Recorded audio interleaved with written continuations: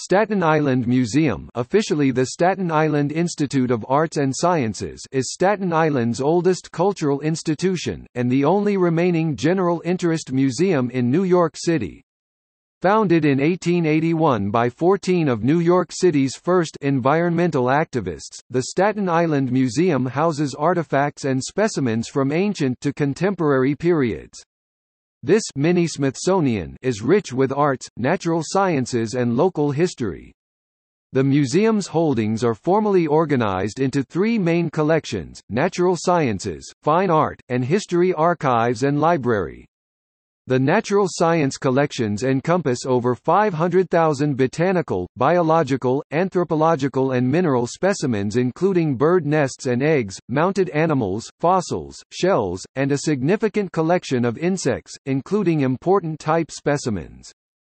Based upon a 19th-century model, the art collection includes works spanning prehistory to the modern period, with representations of diverse world cultures from both the Western and non-Western traditions. The historical collections include a library, maps and atlases, early films, audio recordings, photographs, historical objects, ephemera and archival documents reaching back to the 17th century.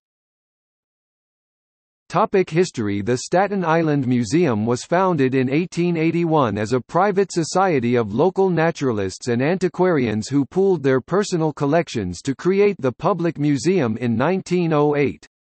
William T. Davis, along with Nathaniel Lord Britton, Arthur Hollick, Charles W. Lang, are some of the founding fathers who also contributed significantly to the city's nature preserve, research and education.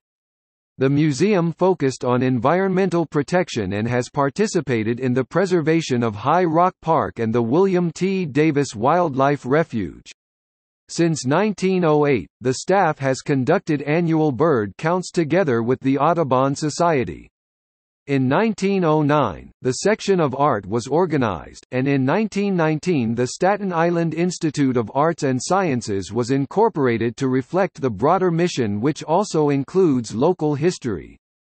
The museum has been called a mini-Smithsonian because of the breadth of its collections, and is based on a 19th-century model of creating within one's own community the complete resources for a cultural education.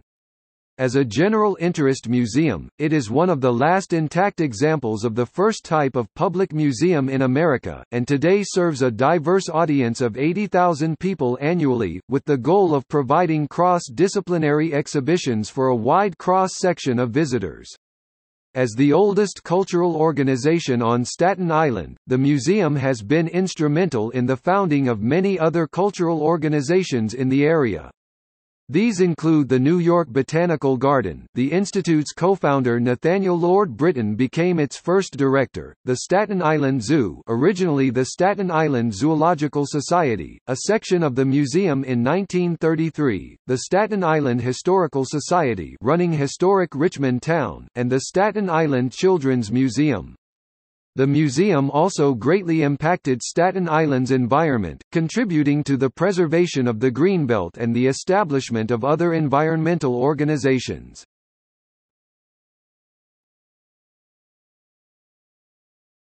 Topic: Current mission It is the mission of the Staten Island Museum to document, research, preserve, collect, interpret and exhibit significant objects and themes in the areas of natural science, art and local history, with the goal of educating, celebrating and enriching the community of Staten Island in particular, and the New York metropolitan region in general.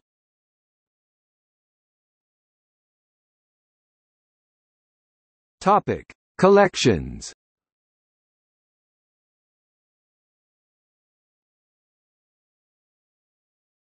Topic: Art.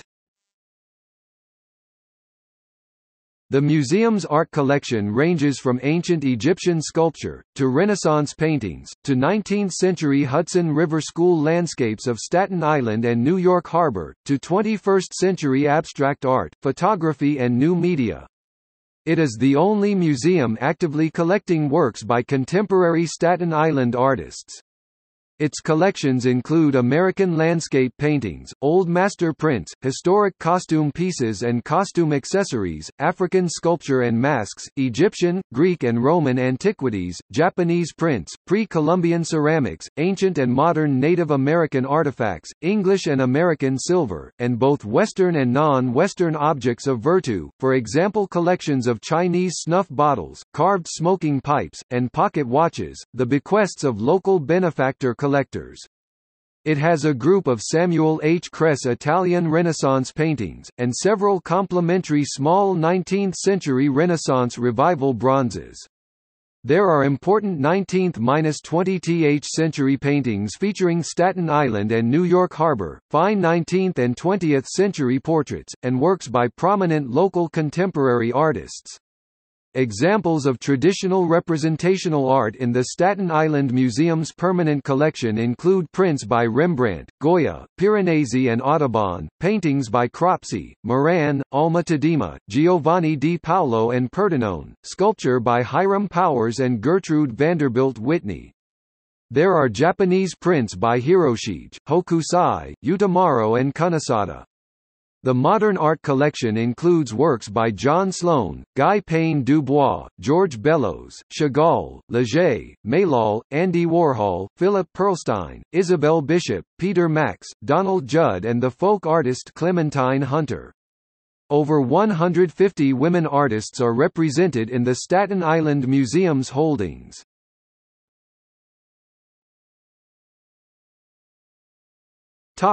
History The museum has over half a million items in the local history collection, including authentic land grants with the wax seals of King Charles II (1674) and King William III (1696), as well as a 1776 military document signed by William Howe, Commander-in-Chief of the British Armies.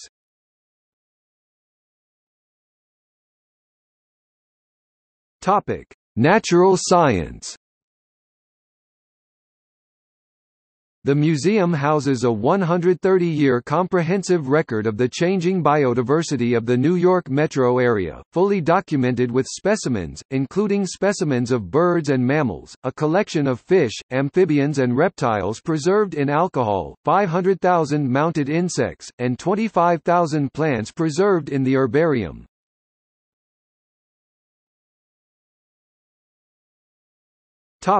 Current exhibitions Topic remember the mastodon, diversity and preservation Remember the mastodon is about the hard facts of extinction, the wonder of enduring species, the importance of biodiversity and the challenge of preservation. Includes fossils, lost bird species, and a full-size replica of a mastodon emerging through the wall. Visit the museum opening weekend to help name the newest addition to the museum team. Topic: The Wall of Insects. A display of over 150 beetles, cicadas, butterflies and moths from the permanent collection.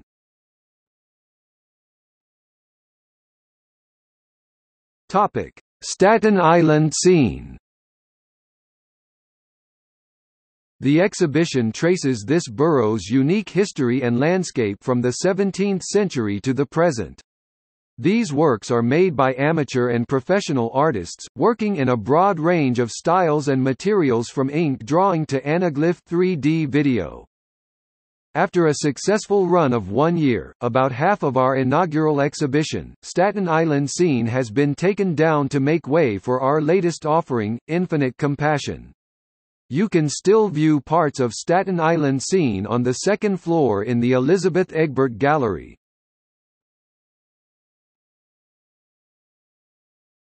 Topic: Opening the treasure box, bringing the world home. Presenting art objects spanning 4,000 years of artistic endeavor gathered from five continents, Africa, Asia, Europe, North and South America. Countries represented include Germany, Greece, India, Japan, Liberia, Mexico, Nigeria, Peru, and the United States.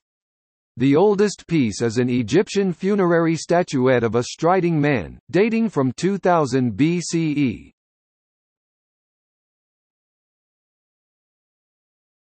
Topic: From farm to city. A glimpse into Staten Island's unique history, its people, and the themes that resonate as collective truths on this unusual island using images and historic documents, audio interviews, and digital collections. This exhibition strives to reunite islanders with their past and share the evolving story of New York City's borough of parks with visitors. From Farm to City, Staten Island 1661–2012 was created by the Museum of the City of New York. The exhibition focused on land use on Staten Island. This legacy exhibition focuses on the people and themes that define the island throughout history. Topic operations At Snug Harbor Staten Island's hometown museum has consolidated its collection to the Staten Island Museum at Snug Harbor. A state-of-the-art LEED certified building opened to the public as of September 2015. In addition, the museum operates its Art Conservation Studio and the Staten Island History Center and Archives at Snug Harbor Cultural Center, joining other cultural institutions at the site. The museum has transformed from the 19th-century model of a museum as a cabinet of curiosities, into a fully realized 21st-century institution that is accessible, diverse, technologically advanced, and demonstrates leadership in collections management, exhibitions, education and public programming. The new museum, on the Snug Harbor campus, is the first federal historic landmark on Staten Island designed to achieve LEED Gold certification, including geothermal heating and cooling. The mainly city-funded $23 million renovation of Building A added over 25,000 square feet 2,300 square meters, with additional space to follow in Building B biodiversity in 2022. The museum displays Staten Island SEEN, SEEN, a new interpretation of Staten Island across three centuries, including commissioned works by contemporary artists and featuring Hudson River School landscape paintings by Jasper Cropsey and Edward Moran from the museum's collection. In addition, a life-size replica of a mastodon greets visitors as they explore the museum, a creature that once roamed the hills of Staten Island as evidenced by local discoveries held in the museum's fossil collection on display in the new lobby.